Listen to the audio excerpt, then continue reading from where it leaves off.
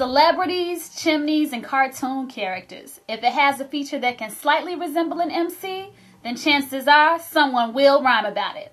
Here are this week's top 10 lookalikes. Number 10. Homie, you need cliff notes, and you should switch to the other team. Why the fuck am I battling with Kevin Nash and Butterbean? Number I'm nine. thinking that they And matter of fact, do you think that you scary? Why the hell did you come here with a broke down Luke Perry? Hey yo, Number eight. Look at talk shit about us, but you lack the requirements. You cats look like firemen trying to come out of retirement. Yo, Seven. these cats. I'm the one who's rapping fresh, dear. You think you have a fucking chest here? Why the fuck would I lose a bitch ass fat motherfucker and Captain Redbeard? Number six. You guys don't ever spit it better greatly. Shit, I came here to see Cedric, and I'm pissed because he didn't entertain me. so go back to the go. I'll bone your mom, then make your granny leave, then give you the panties B.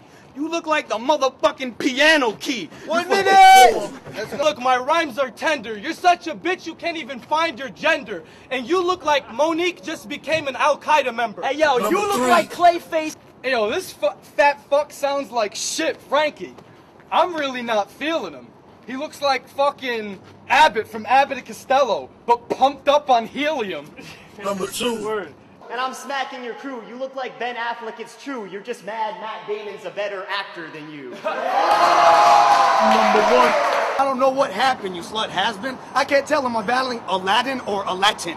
Ta.